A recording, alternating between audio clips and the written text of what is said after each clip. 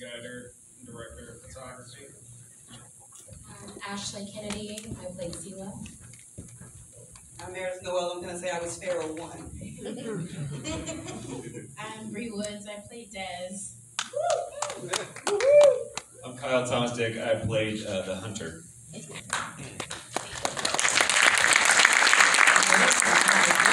Okay, let's get into it, shall we? All right.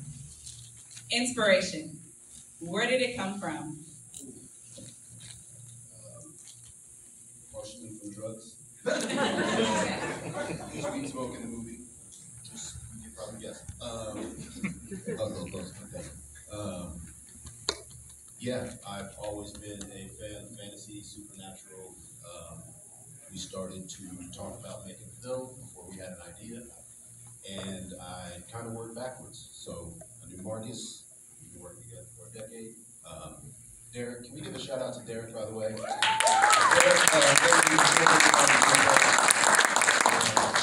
uh, the two of them, and then my older brother Dean Albright, uh, who's our executive producer.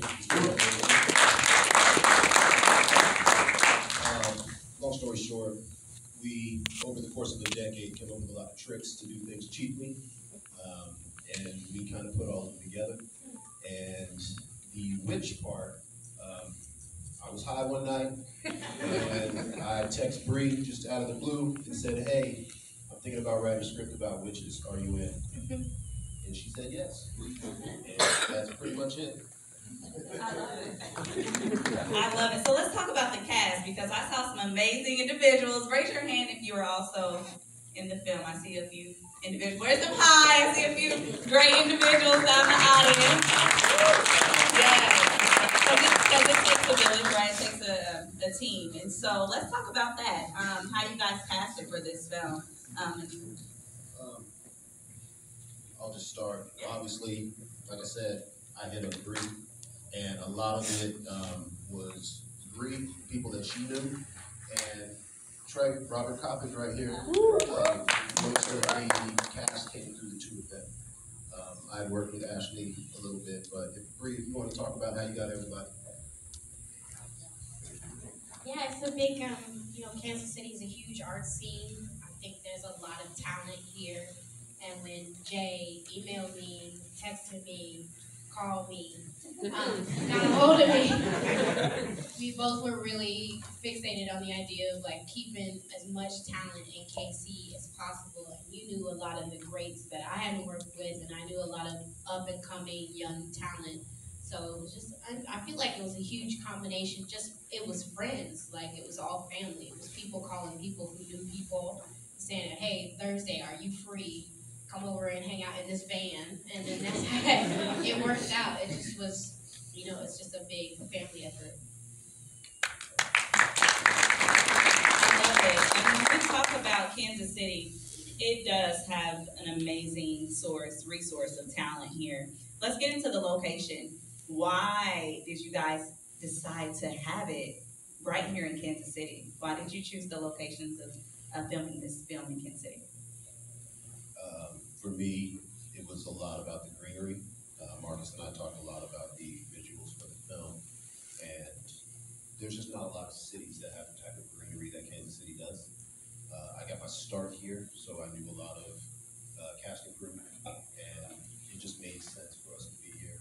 Um, the entirety of this film cost fifty thousand dollars. Um, so it was just people coming together to help each other out, and you get a place that has community like this, you gotta take advantage of it. I love it. So you talked about that the budget was low, right? And I know we have some um, film tax credits and things like that that we're talking about. So I want to give a few seconds for you to talk about how um, that may impact you and everything that you guys have going on, right? Um, for future projects, maybe. Let's get into some of that.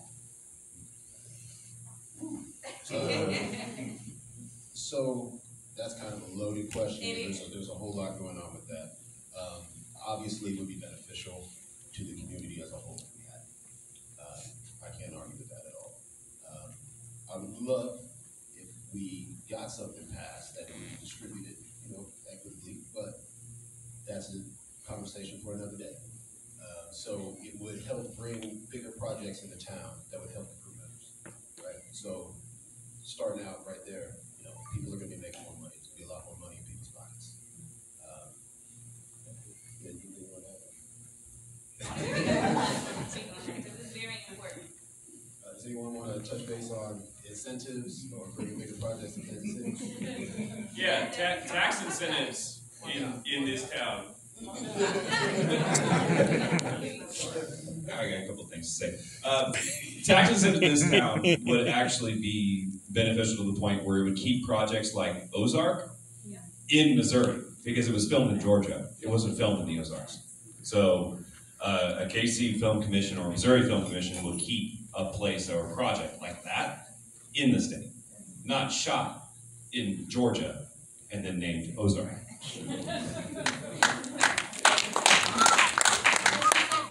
We said, I mean, in this room alone, there are creators and innovators and visionaries who don't have the resources.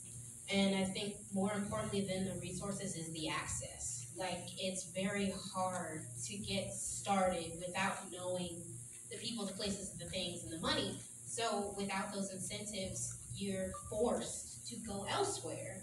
And that's why I feel like there's, everybody always talks about specifically with black talent and talent of color, how people tend to leave Kansas City. And you tend to have to go to a bigger market that is, you know, trading with you. And it would be wonderful if we were able to create our own ho- our art in house. I think that's the hardest thing to do, and I don't think it should be that way. So it would be wonderful if we were able to keep some of that money and keep a lot of that talent in Kansas City and build from within instead of forcing people to go out.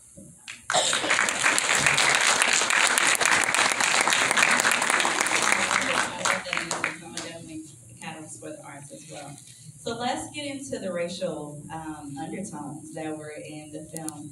Uh, do you want to speak on that? I noticed um, in one of the articles that I read about um, this film is talking about uh, Missouri to Kansas, right? Like some of the underlines there. Do you want to speak into any of that? I know you touched on it just briefly. just briefly. Do you want to speak on any of that? To be honest, not a ton. And the reason for it is part of the original idea when I crafted the start of the story was it wasn't going to be too heavy. And so what I did with a lot of almost every department is I let people have the room to operate, you know, in their own space. So for me to touch on how you know any of that race affected them, I don't know if that's even my place. I wrote the basics of the story. So where I would like to pivot, if that's okay, is to the two of you. Um, I didn't give them any real direction on how they were gonna pull that off, and I knew that this was gonna be a thing. A black woman turning herself into a white man. I knew- about. Yeah, so it will be a thing. I didn't want to take it over the top. I let them handle it the way they wanted to. And I don't know if they, anyway, I'll just let, I'll let Talk you. about getting into that character. I don't know how far.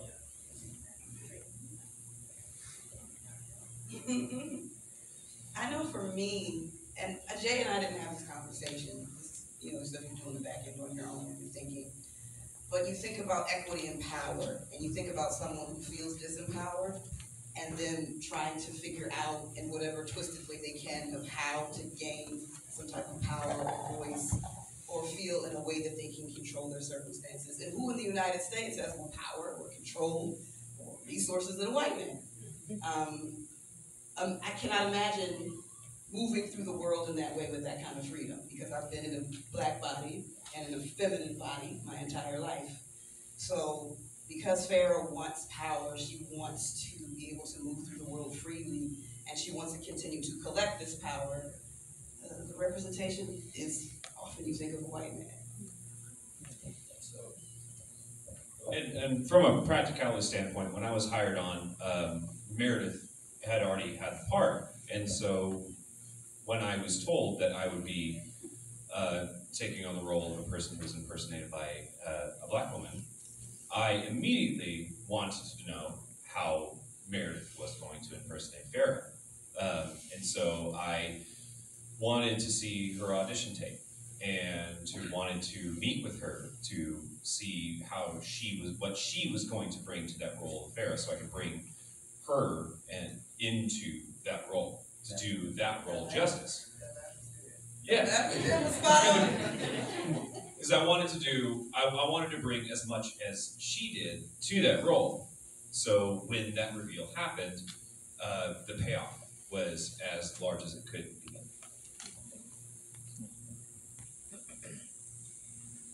Very nice. Well, you, you all did a really amazing job portraying those two characters, so kudos. Let's talk about, I know this was your first time directing and writing the film. Let's talk about that process. How was that for you? And producing, right? Um, long days. Uh, long day. Anyway, um, it was it was challenging but freeing at the same time. Um, again, I, I just said I didn't want to make the film too heavy, so I'll just talk about it as a writer first. Um, there were elements of the story that I cut. Uh, I feel like it might have made it a little deeper or a heavier story, but I pulled back, back. Um, so even in, you know, the moment where they're talking about dying and then you cut and they're dancing, um, that's just kind of, kind of what I wanted to do, was just follow the joy, follow the happiness, at least as much as I could in the story. There's still gonna be pain, there's gonna be, you know, emotion, all those fun things. So then, as the producer, trying to, you know, make sure that whatever my brain thought of as a writer, I could pull off. Marcus Geiger, um, was key. Um, so even as I was developing the ideas, uh, going back and forth with Bree and with Marcus, uh, you know, even when I finished the first draft as a writer, me and Marcus going through it every day for quite a while about what I could actually pull off financially with the resources that I had. Um, so there was that part of it. And then the other part of it was talking with Derek about what visuals I could actually pull off uh, without making him angry with me. So, uh, so those two two parts of it, just writing and producing, ended up being a lot about how I could craft a story uh, with everyone's help that we could actually pull off that would still be good.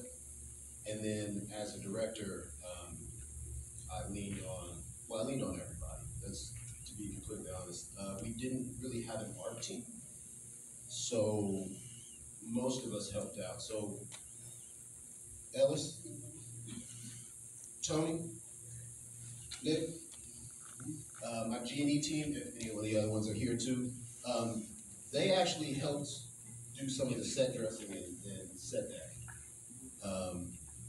You know, just as a director, I didn't have time because we had limited resources. So again, it's that community that Bree was talking about. But those three guys on top of doing their job, JJ helped too. I see you over there, JJ. Um, yeah, as a director, I just leaned on every single person that I could, uh, because again, I was also producing as well. So, yeah, just it was a challenge, and I'm not entirely sure how we got through it every day. Um, I'm sure at some point, Marcus was tired of me calling. Uh, but yeah, it was it was just a lot. Was, I'll be honest, it was a lot. What advice, give me some advice that you would give to an inspiring and up and coming filmmaker? I'll, I'll go last. That's, I mean, that's for anyone. Let's go down the road. Let's go down the road. And then everyone think about it and get your questions ready. So I'm gonna come to you all next, okay?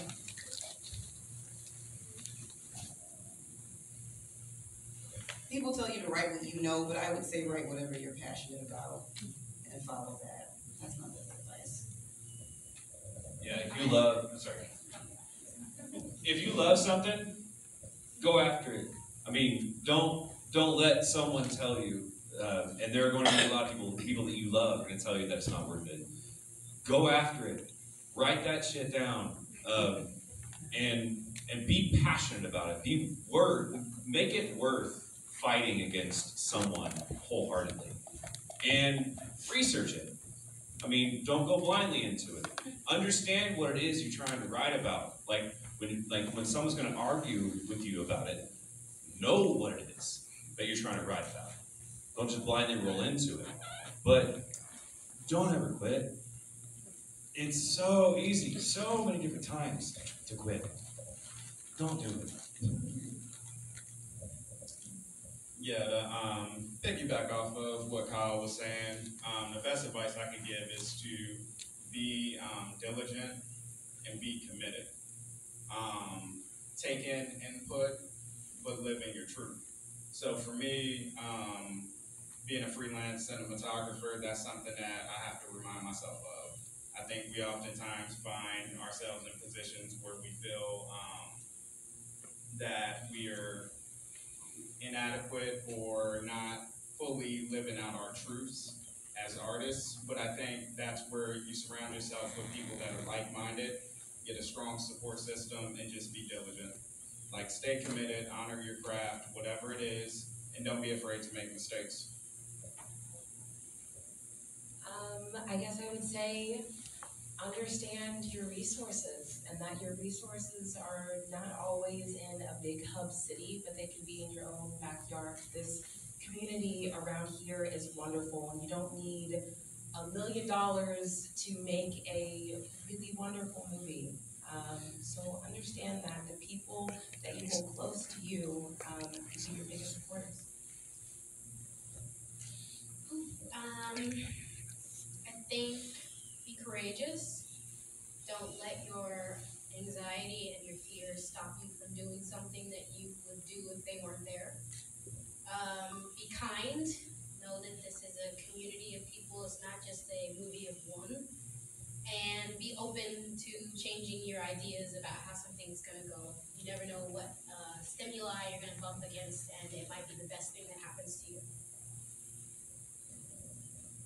do your thing.